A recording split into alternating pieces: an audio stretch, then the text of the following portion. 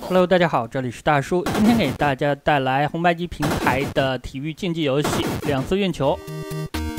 这款游戏大家小的时候玩，一般都管它叫做 FC 篮球，或者是 NBA 篮球。本作是科乐美1987年出品的，年代比较早了。开场的时候，我给大家演示了三个扣篮的特写动画。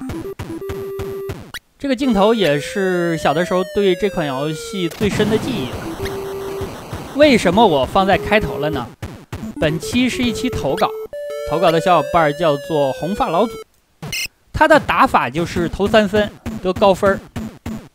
其实这个打法让我想起了之前我录制过的世嘉 MD 平台的《灌篮高手》，里边我的战术就是使用三井寿。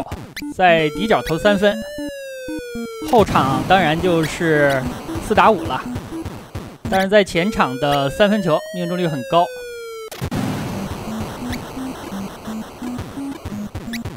游戏开始的时候有两个选项，分别是单打还有双打。双打的话就是一 P 和二 P 对抗。双打的时候可以选择一个额外的队伍，就是波士顿队。这个队伍单打是不能选择的。可能有的小伙伴觉得队伍之间差异不是那么明显，但实际上官方对每个队伍的参数还是略有调整。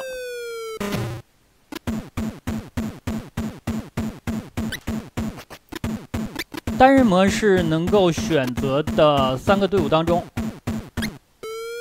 三分球性能最好的实际上是芝加哥队。纽约队的特长是中投，洛杉矶的特长是防守。不过在实际的游戏过程当中，节奏还是比较快的。所以大家对于这些细微的性能差异，可能是不大体会得出来。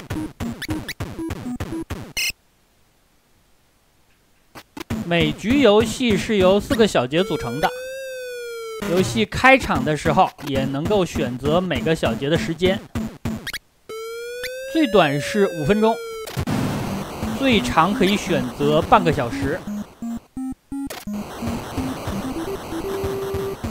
有小伙伴可能会算，半个小时的话，玩一局游戏两个小时啊。游戏当中的时间流逝是比现实稍快一点的。游戏当中的五分钟，在现实当中大概是两分四十秒左右。所以你如果选择了每节比赛时间是三十分钟。那么实际的游戏时长大概是一个小时左右。另外，单打的时候还可以选择 AI 的难度，一共有三个难度。现在打的就是三级难度，每个难度最后比赛胜出之后，你得到的奖杯是不一样的。区别也就仅此而已了。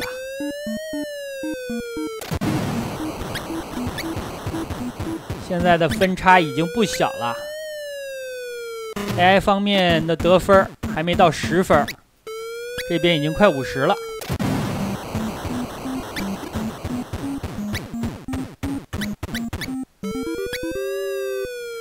游戏还是有一定基本规则的，但好像是没有防守三秒。这款游戏实际上也移植到了很多的平台，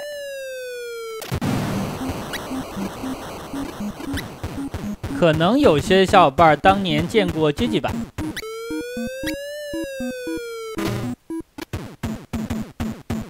有人防守的情况下，命中率会稍稍下降。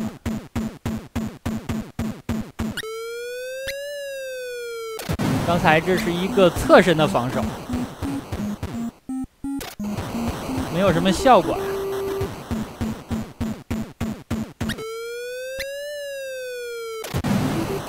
可能有些小伙伴觉得这款游戏只有三个球队，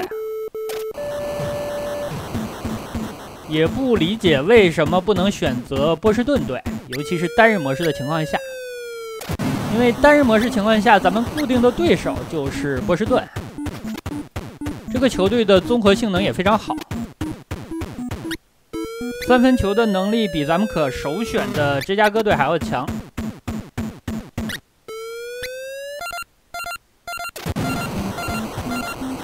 上半场马上结束了，结束之后非常良心的安排了啦啦队跳舞的环节。现在很多媒体转播比赛的时候，这段都不给大家转播呀。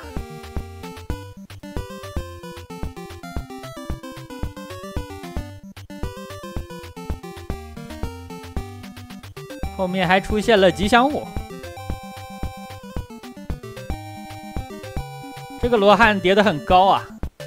大家注意，背景上出现了一只青蛙。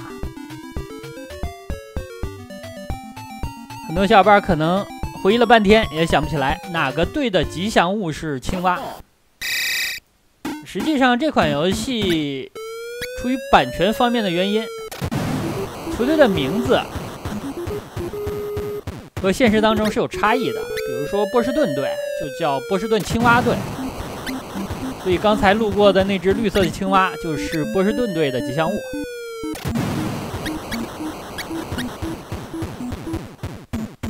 前几天我给大家录制过红白机平台的飞行射击游戏《帝国战机》，里边就提到了，当年在红白机平台，科乐美的经典作品可能有几十款，但是现在我把这款。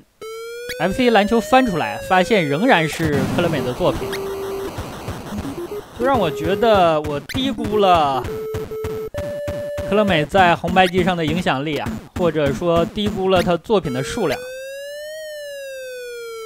大家玩过的可能有近百款了。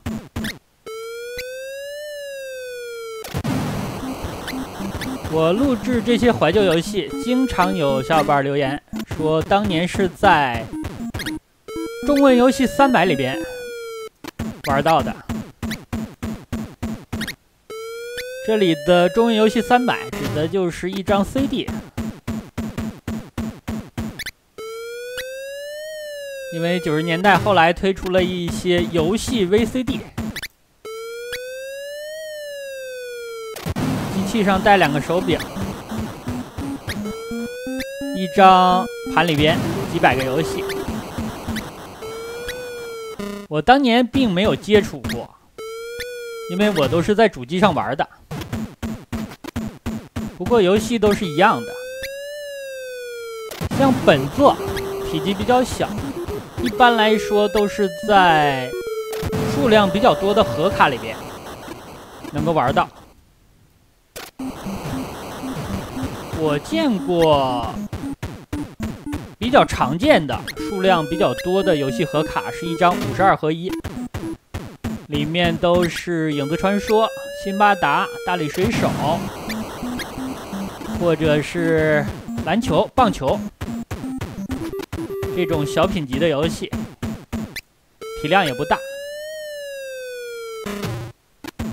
一些大作的话，就是四合一和八合一了。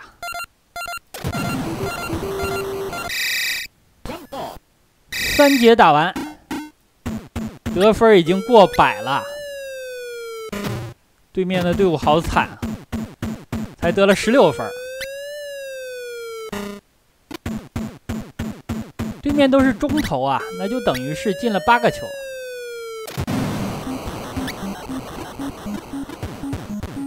这边基本上都是三分。知道投一个中投要判几年啊？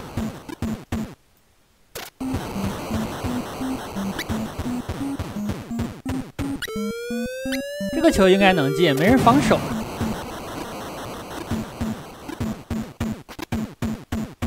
当年如果谁用这种打法，那就是超现实主义篮球啊！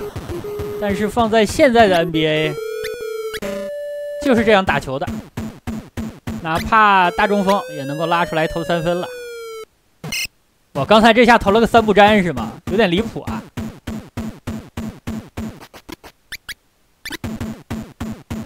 场上的这五个人恐怕也是没有位置概念的，人均库里了。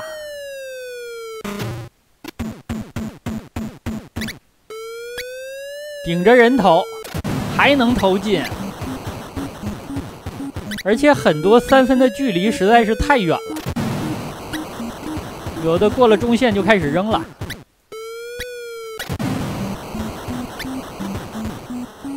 一百二十三分，打的顺能过一百四！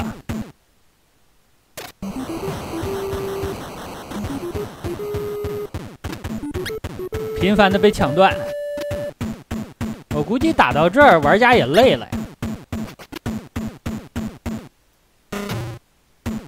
刚才对面这个中投没投进，哦，这下也没进，这下不是没人防守吗？一百二十六了。